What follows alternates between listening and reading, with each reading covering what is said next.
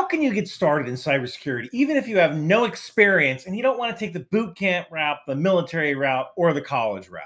Now, I'm actually old enough to remember a time when we didn't even have email. So, back in the 90s, when the internet was just taking off, anybody who could code HTML could create a website. And people who didn't know anything about the internet but knew they needed a website were basically hiring anybody with a little bit of web design experience. And today, cybersecurity is kind of like that. A lot of managers know that cybersecurity is important and they know they need to hire people to do cybersecurity, but because cybersecurity is so new, they don't even know what interview questions to ask. So, a lot of companies rely heavily on certifications. So, the path that I've laid out will ultimately get you your Security Plus certification, which should be enough to get you an entry level job at maybe a small to mid sized company. But before we get started, just give me 30 seconds to pay the bills here. This video is sponsored by Atlas VPN. Right now, they are offering a three year subscription for just $1.99 a month with a 30 day money back guarantee, just for Ryan McBeth channel subscribers. So click the link in the description below to take advantage of this deal. A VPN or virtual private network helps you stay safe online by creating a secure tunnel from your computer to the VPN provider that hackers and rogue members of the government can't penetrate.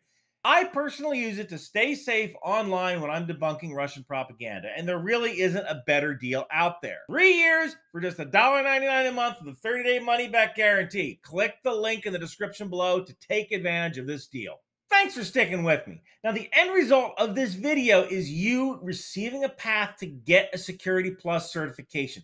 That is the end result. The Security Plus certification is the standard that's going to get you that entry level job. Now, you probably already have a Windows computer, so we're going to start with learning the basics of the Windows file system. Take a look at a video like Windows File Structures and Paths by Professor Messer.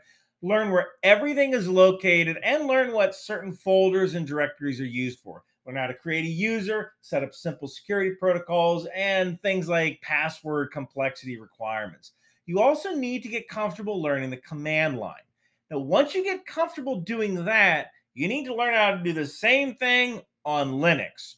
Now, what's kind of neat about Linux is that with Linux, you can run this virtually on your computer. Virtualization is a core concept in computer science right now, and this allows you to run multiple operating systems on one computer. It's really going to help you when you're learning because you can set up an entire virtual network of Linux systems and play with them and configure them just like they're real physical computers. So to start, take a look at something like the how to use VirtualBox tutorial. This will show you how to run Linux virtually on Windows. And once you've got Linux on your computer, now you need to learn how to use Linux. So take a look at the video, Introduction to Linux and Basic Linux Commands for Beginners. Get yourself familiar with the Linux command line and watch that video. Once you're familiar and comfortable with the Linux command line, then I want you to watch this video, Linux File System Structure Explained. This will give you more insight in the Linux file system. And once you do that, I want you to compare your knowledge with the Linux file system and the Windows file system. So watch this video on Linux versus Windows file system structure compared.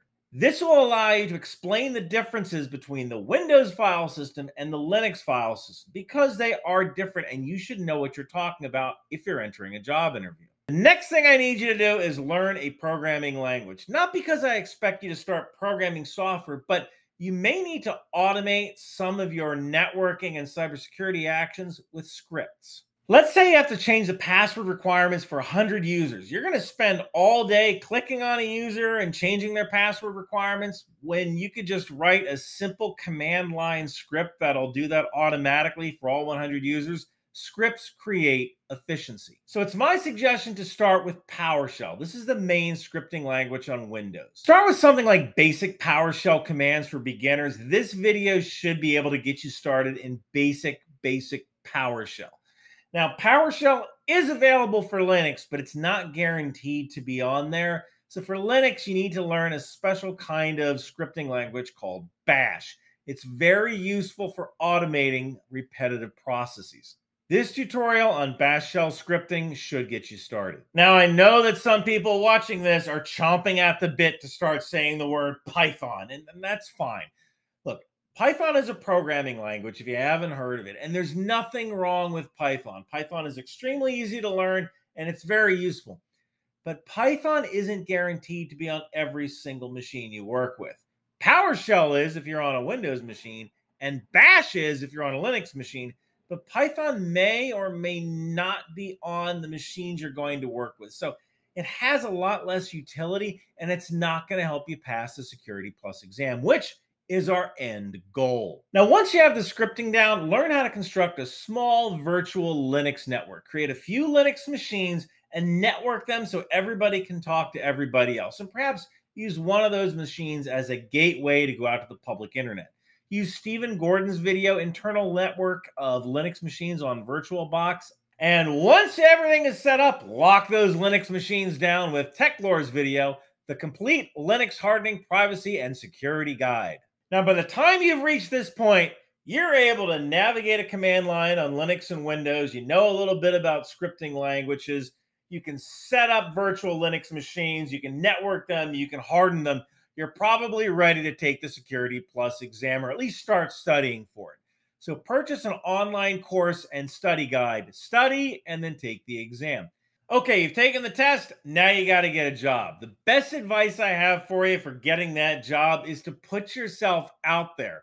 Join some online and live cybersecurity groups and become an active member. Actually, go to these events and contribute and talk. Personal connections are what get you jobs. Trying to find a job by applying online is like trying to go duck hunting by shooting a shotgun up in the air and hoping that you hit a bird. Now, if you're an introvert or you're just not good at interviewing, consider joining Toastmasters. This is an organization that teaches public speaking and it's super cheap to join. It's like eight bucks a month. Millions of people have gained more confidence and learned how to speak publicly with Toastmasters. So that's it. There's your path. Now, this path is available in the pinned comments below or on my website. Go to ryanmcbeth.com if you want like a printout of the steps that you need to take in order to follow this path, along with the YouTube links. Do you have a tip for breaking into cybersecurity? Please let me know in the comments. Thank you for watching.